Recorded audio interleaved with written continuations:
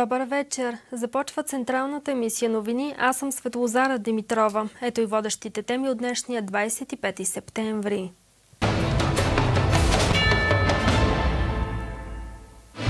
Ловци от Плевенско затвориха движението на ферибот. В община Тунджа набелязаха превентивни мерки срещу африканската чума по свинете. И още продължава проучването за бруцелоза в село Вуково. Повече от 250 ловджи излязоха на протест в Русе и блокираха за малко кръговото кръстовище в района на Дунав мост. Причината за недоволството им е проекто разпореждане, което забранява груповия лов на диви свине. Около 120 000 души са ловците в страната. Само в Русенско те са повече от 1800. На протеста в Русе се събраха в Джи от Русе, Тутракан, Бяла, Свищов и Добрич. Част от ловците бяха довели и кучетата, с които излизат в гората. Оказва се, че индивидуален лов може да има, но само ако горски придружава авджията. Исканията са да забрани заповедта против... А, имаме заповед от Министерството за забрана на груповия лов и на дива свиня. От 10 км напълно забранено, от 10 до 20 км лов с кучета. Искаме тия заповед напълно да отпаднат, да съществува лова, както е съществувало до сега. Друг проблем е, че заповедта не е съгласувана с специалисти. Тук сме, за да престанат тези безобразия. Ние сме един вид бариера за дивеча, който може да влезе с заразата от Румъния. Основно лование на остров, нямаме прасе, което да е избягало посока България. Изпуснем ли прасе, понеже сме на остров, няма как във водата, всички бягат към Румъния. Ние сме една бариера. При протестиращите пристигна и областният управител на Русе Галин Григоров, който също се оказа ловец. По думите му, исканията на ловците са напълно резонни. Доста наивно да си мислим, че може е, на чакала и като индивидуален лов да бъде намалена популацията. И аз смятам, че категорично сега е момента да се разреши лова и максимално да се отстрелват прасета, за да бъде намалена популацията. И затова подкрепям справедливите искания на всички, които са тук. Ловците бяха категорични, че това ще е само първата стъпка, а ако не бъдат чути, ще излязат на протест пред жълтите павета. Подробности от протеста може да видите в днешната новина Плюс. Превентивни мерки срещу африканската чума по свинете на територията на община Тунджа набеляза разширено заседание на Общинската епизоотична комисия. То беше свикано заради новите случаи на заболяването на Стария континент и констатираното огнище в северо България. По-рано днес стана ясно, че Агенцията по безопасност на храните е извоювала облегчени рестрикции във връзка с африканската чума. Брюксел гласува промяна на ограниченията в област Варна, след като агенцията унищожи огнището на зараза в района. Основен акцент беше поставен на недопускане разпространението на заразата в малките лични стопанства от типа заден двор. Това беше причината в срещата в община Тунджа да се включат кметовете на 12 населени места от региона, разположени в 10-километровата зона около най-големите свинекомплекси. Рестриктивната мерка, мярка от наша страна ще бъде а, да се насочим към а, тези животни, които се отглеждат в нерегистрирани обекти и са пристигнали по нерегламентиран начин, не са маркирани и ги приемаме като незаконни. За такива животни ще бъде издадено предписание в рамките на 10-15 дни да бъдат заклани и оползотворени.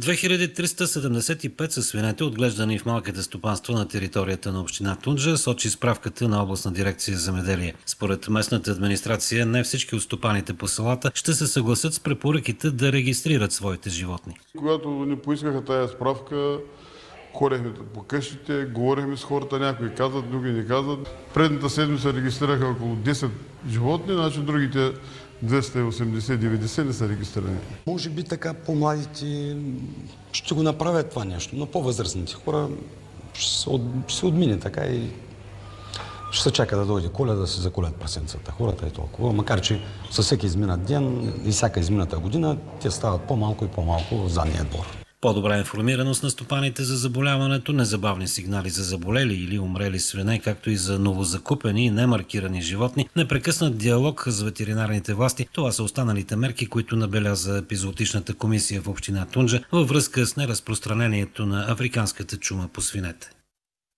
а повече от 4000 домашни свине в югоисточната част на Белгия ще бъдат умъртвени. Целта е да се спре разпространението на африканската чума. Това обявиха от Земеделското ведомство. Европейската комисия одобри решението на белгийските власти. По нареждане на министър Дени Дюкарм, ветеринарните власти ще изготвят съответната заповед и ще подготвят осъществяването и съобщават бългийските медии. Първото огнище на африканската чума в страната беше регистрирано в средата на месеца при диви свине в регион, близо до границите с Люксембург и Германия. Властите в Белгия обявиха 63 000 хектара гора и земеделска площ за зона за сигурност и въведоха строги мерки за контрол на движението на хора и животни. Предвидените за умъртвяване домашни свине са именно от този регион, разпределени в 58 ферми. Трябва да предприемем драстични мерки, за да запазим един сектор, от който всяка година зависят приходи в размер на милиард и половина евро, както и 15 000 работни места, изтъкна Дюкарм. Месото от умъртвените животни не може да бъде продавано за консумация, а засегнатите стопани ще получат обещетения. Въпреки това решението на агроведомството беше остро критикувано от фермерски организации в страната. Припомниме, че редица извън европейски страни вече забраниха вноса на бългийско свинско месо, сред които и големи вносители като Южна Корея, Китай и Япония. В рамките на Европейския съюз ограничения все още няма. Продължава проучването относно появилото се огнище на бруцелоза в село Вуково.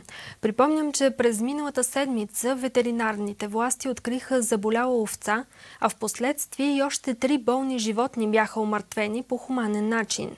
Ветеринарите взеха проби от животните в селото. Бруцелозата е опасна за хората, към момента няма информация за болни от нея. Взети са всички мерки за овладяване на ситуацията, уверяват от звеното. Ветеринарите от областната дирекция са предали страничните животински продукти на ефтаназираните три овце на екарисаж за обезвреждане. До момента сме идентифицирали всички обекти, които са получавали животни, разбира се, по ветеринарно-медицински документи от заразения обект.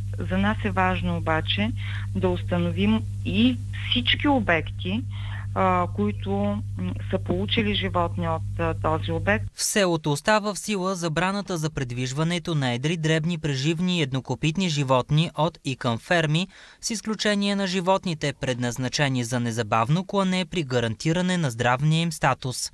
Под възбрана остават и останалите животновъдни обекти в селото, защото до момента ние не сме получавали положителен резултат от други животновъдни обекти, разположени на територията на село Вуково, но за да бъдем сигурни, ние трябва да получим два последователни отрицателни резултата, така че нашите действия в село Вуково продължават. Разбира се и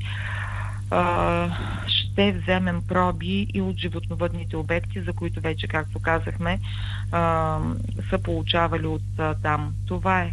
Ако се открият нови положително реагирали животни за бурцелоза, те ще бъдат умъртвени по хуманен начин. На стопанина ще бъде наложена и глоба за нарушаване на ветеринарно-медицинското законодателство. Съветът към хората е да не купуват мляко, месо и животни без ветеринарно-медицински гаранции за безопасност, а за купуването за лична консумация сурово мляко да се консумира след сваряване. Прилагането на обвързани плащания с още по-широк обхват и по-голям финансов ресурс ще има положителен ефект за поддържане и развитието на жизнеспособни селски райони. Това заяви земеделския министр Румен Порожанов, който взе участие в неформалното заседание на съвета на Европейския съюз по земеделие и рибарство във Виена. Порожанов обърна внимание за запазване на възможността за прилагане на преходна национална помощ и след 2020 година. Австрия е против съкръщенията на бюджета за обща селскостопанска политика. Това обяви австрийският министр на земеделието Елизабет Кьостингер по време на неформалната среща на Аграрния съвет. Основната тема на дискусиите беше бъдещето на втория стълб на общата селскостопанска политика след 2020 година. Според австрийското председателство, дупката в бюджета, която ще се отвори след излизането на Великобритания, не може да бъде запълнена само от страните, които са нетни вносители.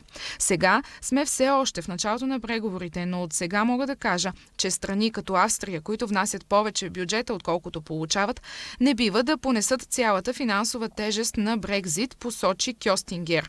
Тя е против съкръщенията на бюджета за селско стопанство и смята, че без подкрепата от Брюксел фермерите в Европа няма да могат да оцелеят. Затова и Виена ще се противопостави на плана на Европейската комисия да намали средствата за втория стълб, които служат най-вече за развитието на селските райони. Вторият стълб е особено важен, тъй като финансира с парите на данакоплатците проекти с обществено значение и стъкна Кьостингер. Мерките за развитие на селските райони се ползват с голямо доверие доверие и се радват на широко обществено одобрение, особено когато става дума за опазването на околната среда и за подкрепата на биоземеделието. Вие сте с централната емисия новини. Ето какво остава да видите още.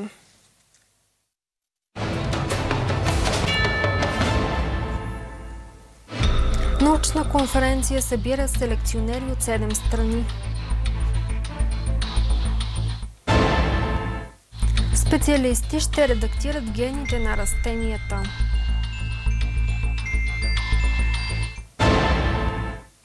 Сезонът за събиране на билки е в разгара си.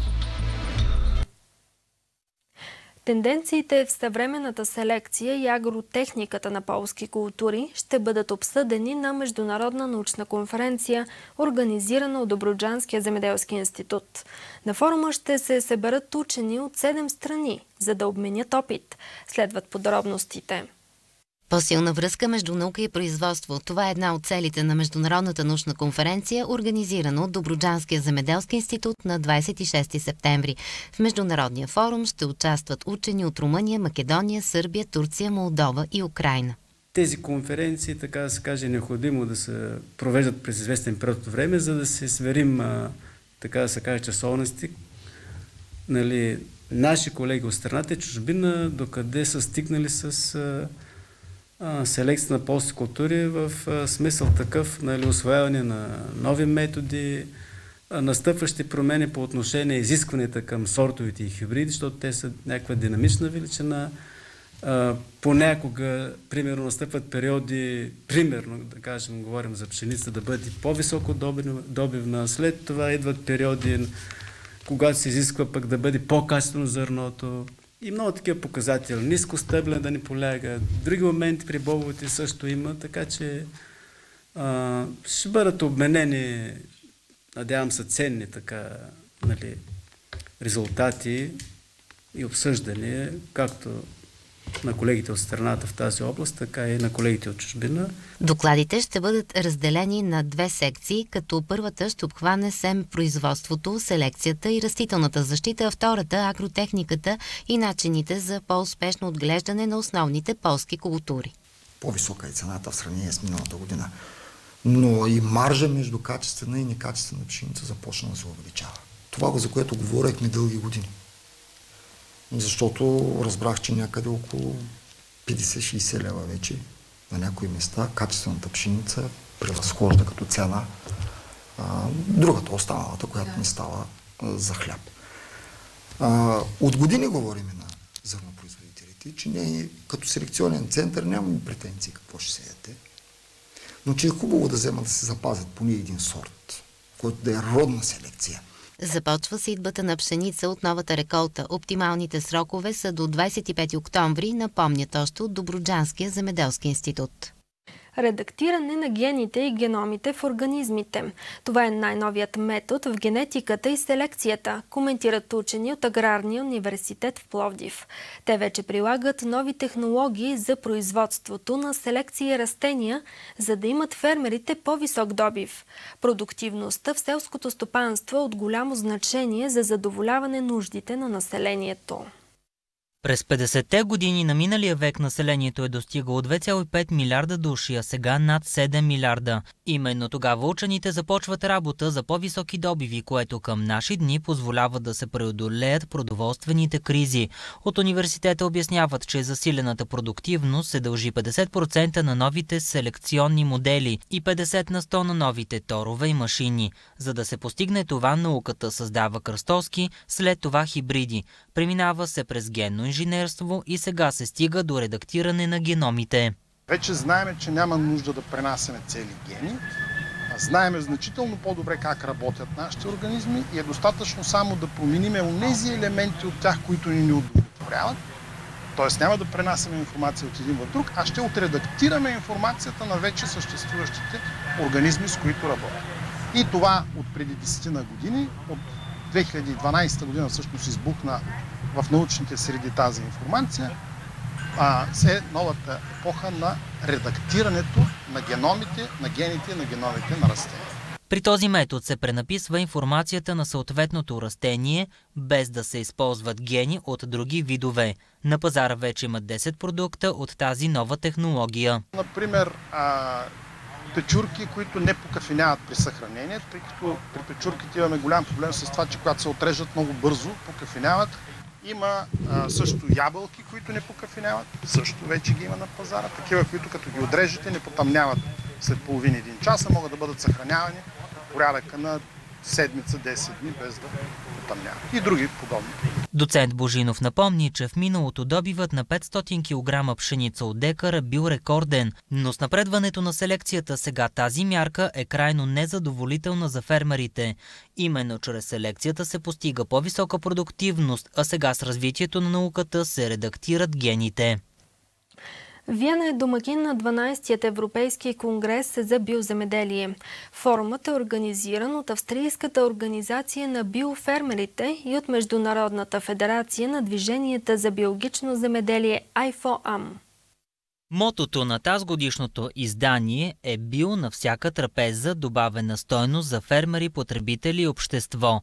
По време на Конгреса високо поставени представители на научните среди, политиката, земеделието и хранителния сектор обсъждат бъдещето на селското стопанство в Европа. Точките от дневния ред съдържат теми като реформата на общата селско-стопанска политика, правилата за биологично земеделие, инструменти за повече справедливост по веригата на производството, както и ролята на организацията органичното селско стопанство като двигател на трансформации при предстоящите реформи. Сред гостите са ПКП Сонен, генералният секретар на КОПА и Коджека, както и евродепутати, представители на Европейската комисия, на Австрийското земеделско министерство и на страните, членуващи в Международната федерация на движенията за биологично земеделие.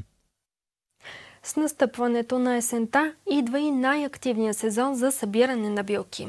Специалисти споделят, че интерес към лечебните растения винаги има. Билковите продукти също са на висока почет сред хората. Меракли за събиране на ароматните растения обаче няма. Билкарите споделят, че имат проблем с намирането на работна ръка. Младите хора не се интересуват от такъв тип работа, а старите опитни билкари вече са много възрастни. Работата е трудоемка, а когато берачите не стигат, много от лечебните растения остават несъбрани. Бойко Златев е от родопското село Могилица и събира билки и гъби по горното течение на река Арда. Хората, селата се обезлюдиха, останаха основно стари хора, възрастни. Хора, които са над 60 Младите изчезна в чужбина. Ако човек, примерно, му трябва работна ръка, няма никаква работна ръка. Само и основно сам, семейството и възрастни хора. Това, това е основното. Много малко има от тях, които отделят така по някакво време, за да могат да събират някоя билка и да изкарат някой лев за препитание. Всичко е тежко. От самото бране до почистването, до подготовката, сушението, всичкото му е тежко. Няма нещо, което да е леко. Стопанинът произвежда още картофи, фасул и арония. По поляните в Родопите в изобилие има риган, мента, кантарион, бъс, бял равнец и много други билки. А от тази година забранени за събиране от естествените им находища в цялата страна са валериана, бял риган и мечо грозде. Билките са природен ресурс, който не е неизчерпаем и затова използването му е обект на регулации от няколко закона.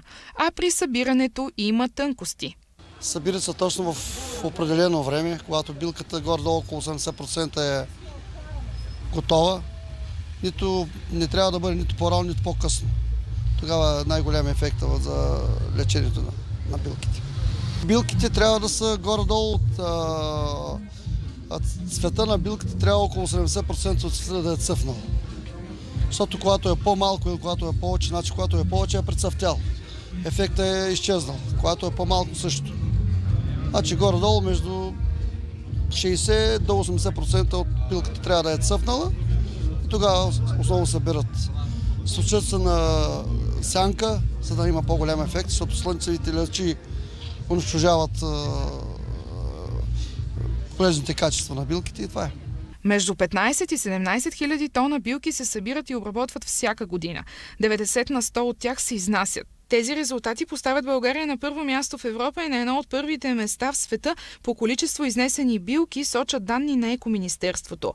У нас се събират около 200 вида лечебни растения. Прилагат се в фармацевтичната и хранително-вкусовата промишленост и козметиката и народната медицина. България е на второ място в света по разнообразие на билки след Индия. Проблемът с отпадъците в световен мащаб става все по-сериозен. До 2050 година количеството буклуци, произведени от човека, ще се увеличи с 70%, изчисляват специалисти от Световната банка. В свой доклад организацията посочва, че в момента всяка година произвеждаме малко над 2 милиарда тона отпадъци. Заради нарастването на световното население и засилващата се урбанизация през следващите 30 на години, това количество ще се увеличи до 3 милиарда тона. Затова експертите препоръчват по-големи инвестиции за системи за управление на отпадъците. През последните 18 години Световната банка е вложила близо 5 милиарда долара в 300 подобни проекта в цял свят. Повече от 33% от отпадъците идват от развитите страни, макар че тяхното население е едва 16 на 100 от световното. Прогнозите са, че в Африка количеството отпадъци ще нарасне три пъти, а в Юго-Источна Азия ще скочи двойно. И докато държавите с високи доходи рециклират около 30% от отпадъците, в развиващите се страни този дял е едва 4 на 100. Докладът стига до заключението, че най-сериозните проблеми са причинени от пластмасовите отпадъци. Ако те не бъдат събирани и рециклирани, могат да замърсят екосистемите за хилядолетия напред, предупреждават експертите. Китай замрази преговорите за смекчаване на търговския спор с Съединените щати.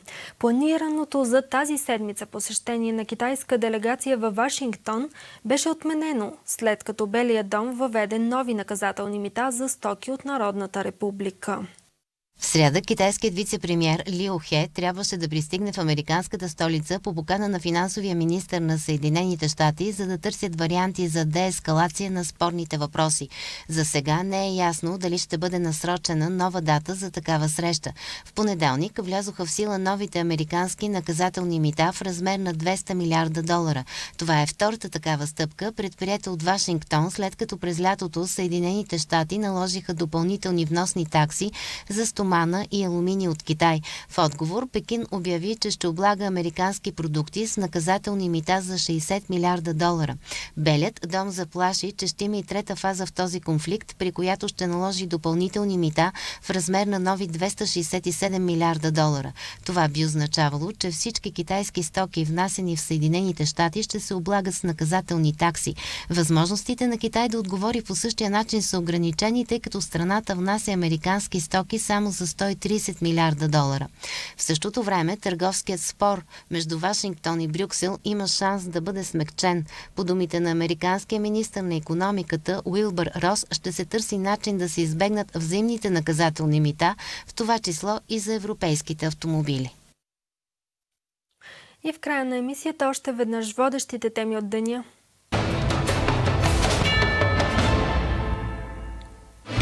Ловци от Плевенско затвориха движението на ферибот. В община Тунджа набелязаха превентивни мерки срещу африканската чума по свинете. Продължава проучването за бруцелоза в село Вуково. Така обобщихме днешния 25 септември. Не пропускайте и късната емисия новини в 22 часа и 30 минути. Вижте всичко важно в новините на Агро ТВ на всеки кръгъл час.